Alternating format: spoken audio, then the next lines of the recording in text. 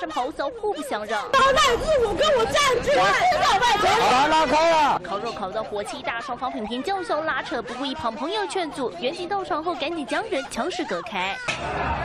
事发就在新北市泸州区信义路上，中秋夜三五好友相约烤肉，其中两名女子疑似酒后不满其中一方声音过大，爆发口角纠纷，双方亲友共近三十人，有人负责劝架，有人帮腔抢虾，现场闹成一团。当时邻居还以为发生街头斗殴，吓得赶快报警。孙子的同学在这边烤啊，可能是讲话比较大声，讲话讲到不高兴而已，对吧？就大小声而已。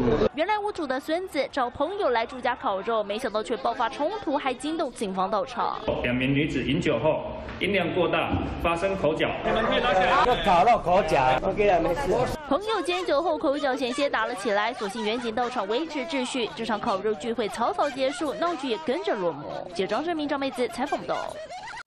我是林佩杰，从生活消费、政治议题到国内外的最新话题，透过镜头传递新知。我在中视带您掌握大小事，更多资讯，请您锁定中视的 YouTube 频道。同时要记得帮我们按赞、订阅、分享，并且开启小铃铛。